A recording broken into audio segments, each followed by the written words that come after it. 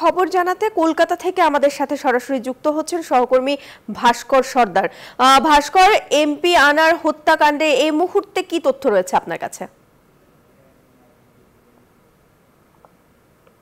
ধন্যবাদ, প্রিয়াঙ্কা। দেখো আমি তোমাকে এটাই বলতে চাই যে দুদিন ধরে ডিবি প্রধান অরুণ রশিদ কিন্তু তার তার মতন করে বিভিন্নভাবে তল্লাশি চালিয়ে গেছেন এবং তদন্ত চালিয়ে গেছেন।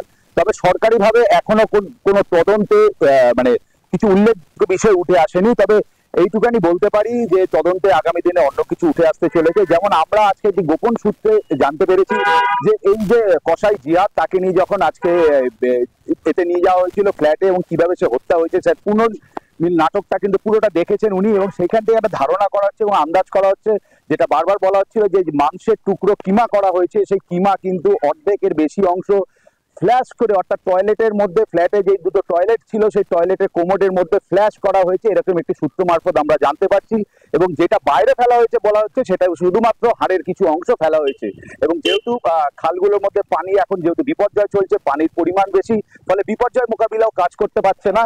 সরকারিভাবে আমরা কোনো তথ্য না পেলেও, তবে সূত্র মারফত যেটা আমরা জানতে পেরেছি যেটা খোঁজা হচ্ছিল এতদিন ধরে যে মাংসের টুকরোগুলো কোথায় আছে সেটা কিন্তু কোমোটে ফ্ল্যাশ করা হয়েছে বলেই আমাদের কাছে খবর। এখনও পর্যন্ত এই খবরই আমাদের কাছে থাকছে সর্বশেষ হিসেবে।